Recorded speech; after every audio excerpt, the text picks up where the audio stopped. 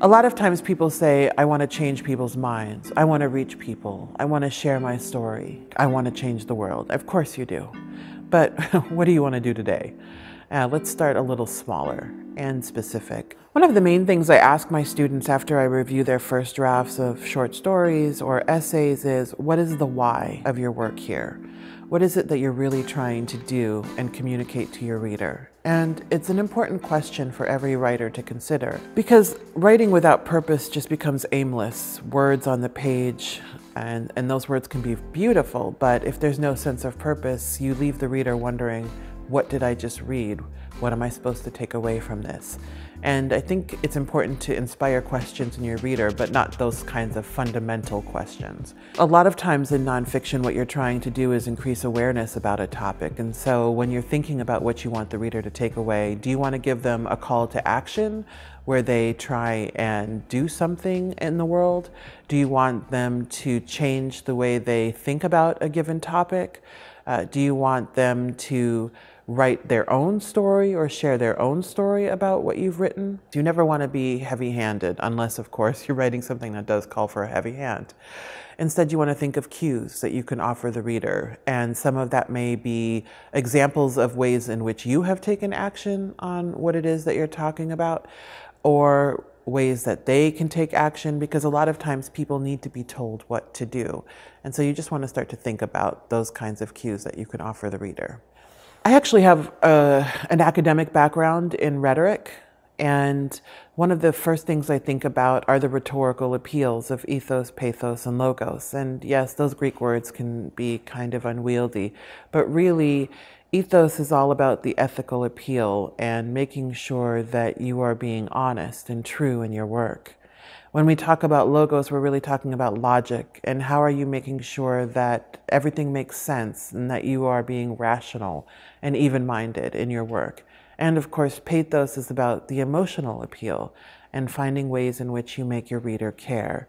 And so I oftentimes use that framework when I'm thinking about my sense of purpose in an essay and making sure that I have at least cursory answers to um, what my ethos, pathos, and logos are going to be for any given essay. I think the most common struggle people have when it comes to identifying the why or the sense of purpose in a piece of writing is that they go too broad and they think that they have to write universally. Uh, you never have to write universally, and universality should never be the goal. When I say universally, I mean either trying to write to an audience that includes everyone, which is this really broad, vague thing that people say, I want everyone to read my work. I mean, who doesn't? Uh, but that's never the goal. But also, when I say don't write universally, I mean your work does not have to be relatable to everyone. Sometimes you can write about a very specific experience, and people will find things to relate to, even if they have not lived the kind of life that you have lived. Your individual and specific experience is enough to interest the reader if you write about it in the best ways. I read an article in the New York Times about a young girl who was gang raped in Cleveland, Texas. And the Times wrote this article about how the town was suffering because of what this girl had been through.